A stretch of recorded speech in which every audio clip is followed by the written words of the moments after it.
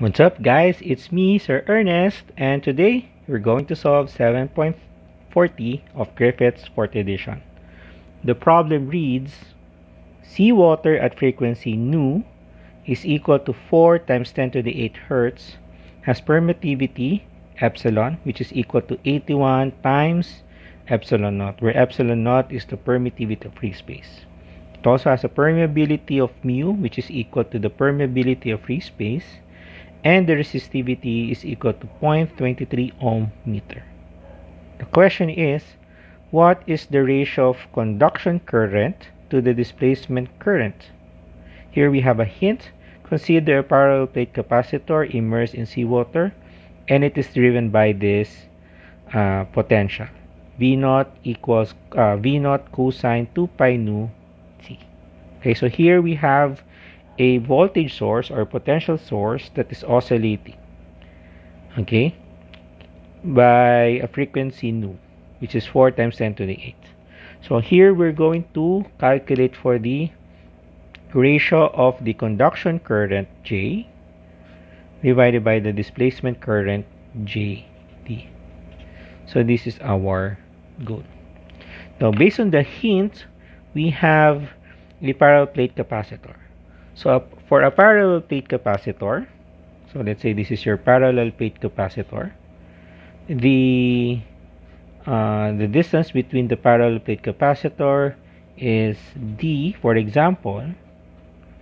Okay, so if this is the positive side of the capacitor and the negative side of the capacitor, the electric field for a parallel plate capacitor will be in this direction.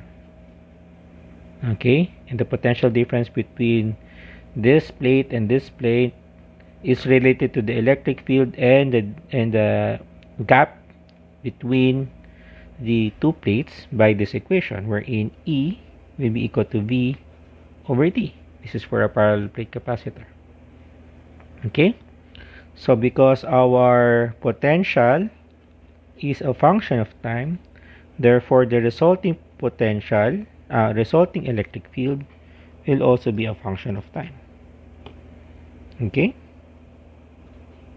Now, the current density by Ohm's law, J, will now be equal to sigma E. So here we're just we're since we're going to focus on the magnitude, and we are only going to look into the magnitude of this equation. J equals sigma E, where sigma is the uh, conductivity of the material, or conductivity of the uh, of the gap. Because remember, this is submerged in sea water of resistivity rho or conductivity sigma. Okay, so from here we can now have V over D times sigma or sigma V over D. Or in terms of this equation, we now have uh, sigma uh, sigma b naught cosine 2 pi nu t all over b. So this is now your our J. Now how about JD? JD is your current displacement as predicted by Maxwell when he corrected Ampere's law. So the current displacement can be calculated as this equation or using this equation wherein the current displacement JD is just equal to the derivative of the electric displacement T with respect to time. In terms of the electric field, the electric displacement will be equal to uh, epsilon E. So this becomes epsilon times the derivative of E with respect to time.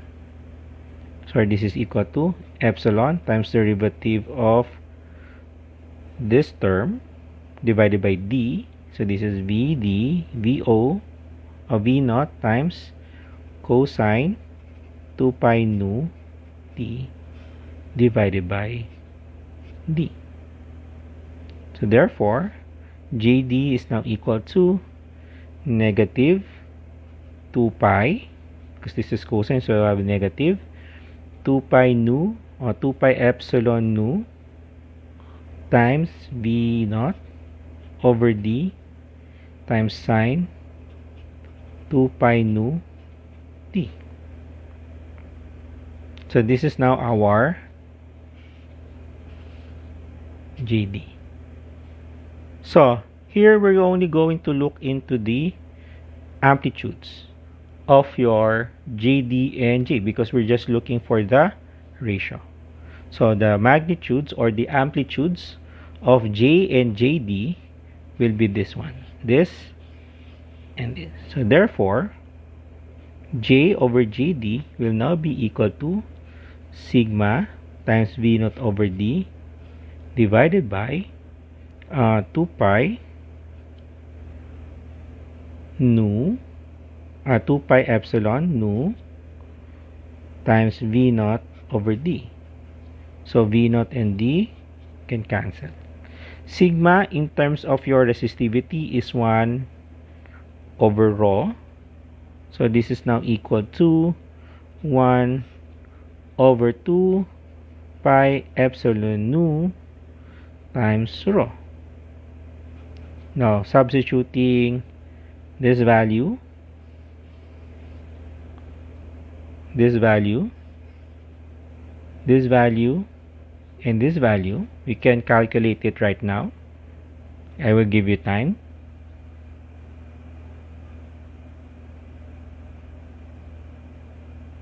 Okay so I hope you calculated it right now. The answer should be 2.41 so that means the current density and the current density or current J is 2.41 times the uh, displacement current JD.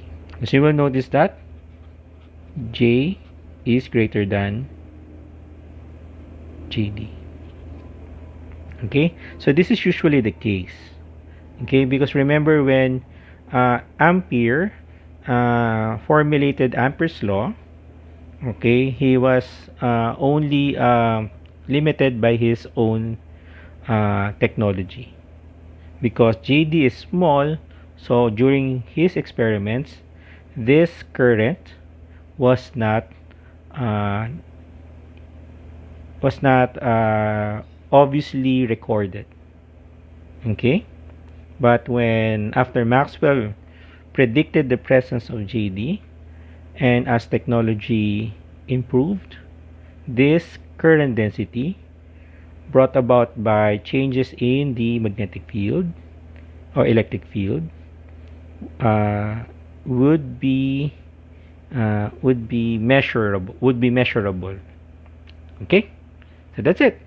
That's our solution to problem 7.40 i hope you learned something today thank you for watching. I'll see you guys again.